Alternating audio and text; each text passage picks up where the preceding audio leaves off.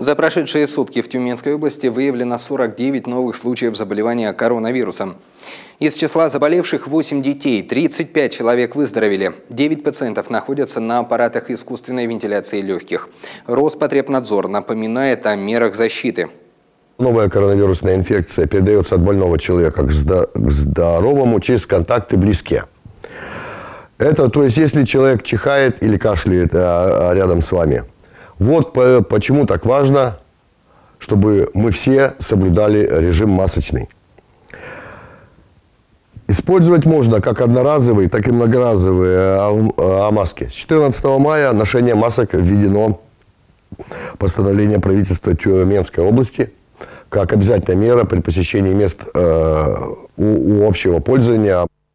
Добавлю, что 141 человек в регионе находятся в обсерваторах. 1166 человек остаются под медицинским наблюдением.